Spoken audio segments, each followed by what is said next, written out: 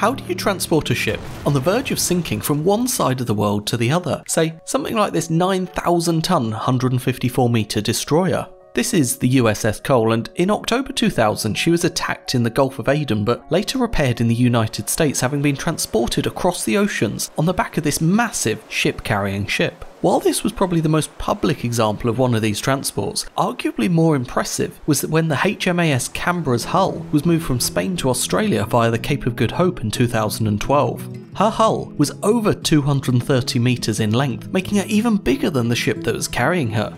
So, what's going on? What are these extraordinary ships and how do they work? Normally, when you have cargo that you want to move, you get yourself a ship and just lift the cargo on. Smaller things might be containerized and moved in standard size boxes. Other things might be lifted onto the deck as they are and just strapped in place. Either way, you need a crane that can lift your cargo. Regular harbour cranes typically have the capacity for lifting maybe a couple of hundred tons. Specialist cranes do get into the low thousands, but if you're needing close to 10,000 tons lifted, you really don't have many options. Add in the complication of operating in less than ideal conditions, like the Gulf of Aden, and you quickly realise that cranes just aren't suitable.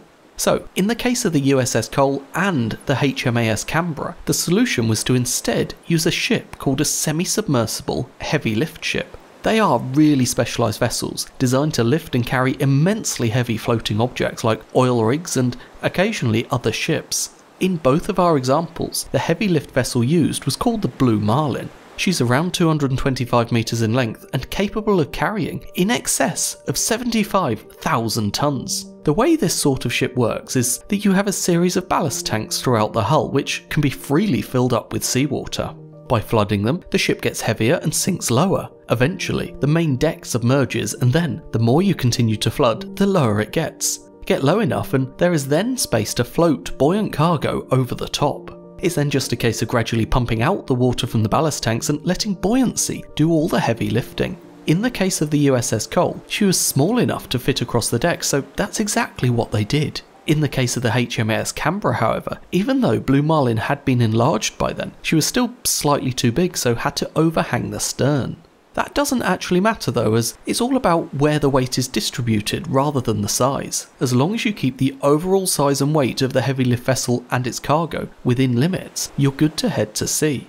With Canberra loaded on board, Blue Marlin left Spain and headed south, she went around the Cape of Good Hope and across the Indian Ocean towards Port Phillip in Victoria. They chose the longer route simply because they didn't want to chance the high risk areas in the Gulf of Aden and around the Horn of Africa. Anyway, the great thing about semi submersible heavy lift ships is that once the cargo is on board, they behave in the same way as any other vessel and can navigate in the same way. Then, when they get to their destination and need to unload, it's just a case of doing everything in reverse. They fill their ballast tanks in a controlled manner so that the heavy lift vessel slowly sinks lower into the water. As the cargo begins to submerge, buoyancy starts to lift it off the deck until eventually it reaches the point where it's floating free on its own. Tugs are then used to manoeuvre it clear of the deck, after which the heavy lift vessel is free to refloat herself and make her way towards the next loading port. Although the two examples we've discussed both involved moving ships around the world, the original purpose of these vessels was a little different. They were actually designed for the oil and gas industry. Moving ships is more like a side hustle to them.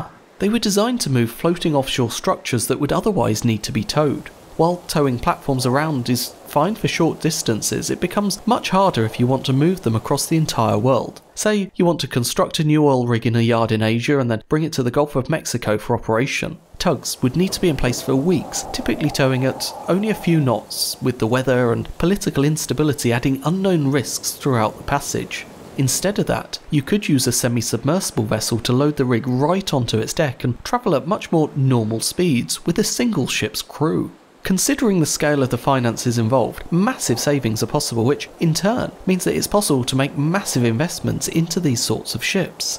When she was built, Blue Marlin was the largest one in the world, but she's since lost her crown to the Vanguard. Vanguard is so big that she was actually one of the options for removing Costa Concordia in 2013, although ultimately she wasn't used. She has been used as a dry dock for other cruise ships though. Notice the similarity between the Vanguard and the Blue Marlin. You can very easily identify these sorts of vessels from their wide open deck space and upright buoyancy casings. These are necessary as they provide extra buoyancy when the main deck submerges and prevent the stern from simply dropping away from the bow. Without them, once the main deck is underwater, any further submerging will act to quickly move the centre of buoyancy towards the bow, potentially destabilising the ship longitudinally. Anyway, this combination of large buoyancy casings with a vast open deck area is a quick giveaway if you ever see one of these vessels on the horizon. Otherwise, it would be very easy to mix them up with other sorts of vessels that also take project cargo, but don't actually submerge. They are pretty much regular cargo ships as they still rely on cranes lifting the cargo on and off.